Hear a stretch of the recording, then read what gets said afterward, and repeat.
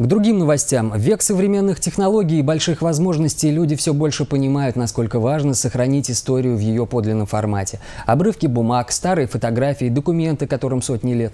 Все это реальные факты из прошлого, которые бесценны. Уже на протяжении 90 лет архивные службы собирают и изучают попавшие к ним материалы, чтобы в подлинном свете показать историю нашим потомкам. История не знает границ, не чувствует времени. Все, что происходило сотни лет назад, по сей день вызывает интерес не только у ученых-историков, но и у обычных людей.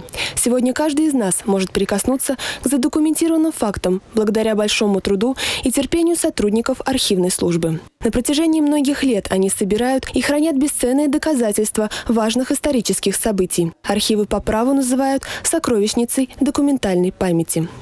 Постоянно студенты исторического факультета у нас бывают. Иногда так и говорят.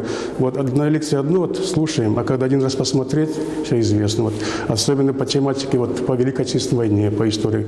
Очень интересные кадры у нас есть. Вот, хроникально-документальные кадры. Вот все это к их услугам. В Чувашии хранится более двух миллионов дел.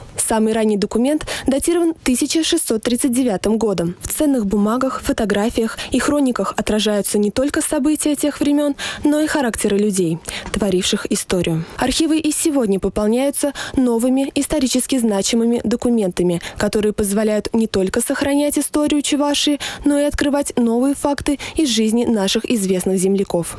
У нас была переписка с э, родственницей известных цивильских купцов Курбатовых, э, Джеймс Леви, фамилия у нее сейчас такая, и она нам предоставила в электронном варианте документы э, вот как раз рубежа 1900 года, получается, очень интересные снимки, которые отражают жизнь, быт цивильска, цивильских горожан, купцов.